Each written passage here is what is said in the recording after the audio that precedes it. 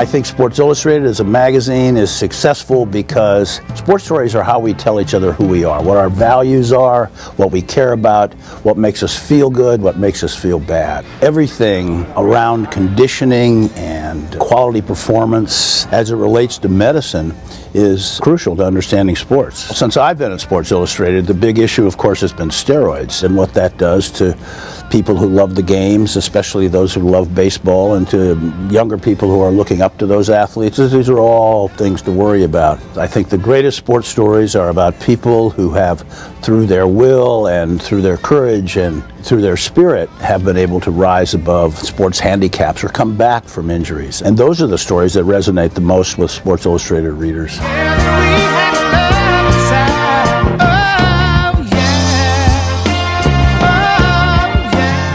I think the Kevin Everett story is one of my favorite pieces. He received a spinal injury in the, that game in Buffalo on, a, I believe it was a kickoff return. The way this story unfolded, the way Kevin responded to treatment, the courage of his doctors resulted in what seems to be almost a full recovery. To see him walk out of his training room within two months of this injury was a wonderful thing. And that, and that story, as it appeared in Sports Illustrated, was one of the most popular things we did last fall.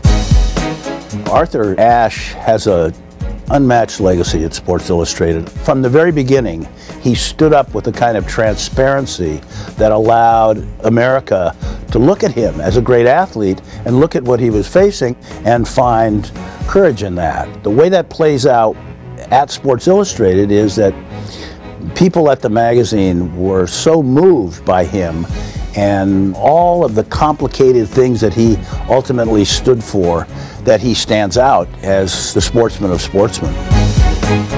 I was an athlete. I, I, played a little football. I was once called the fastest of the slow, but I loved sports. And uh, I, like many people, I have the story about my grandfather buying me a subscription to Sports Illustrated when I was very, very young and reading it over the years. Within sports and sports journalism, there is the ability to do so many things. So I like my job.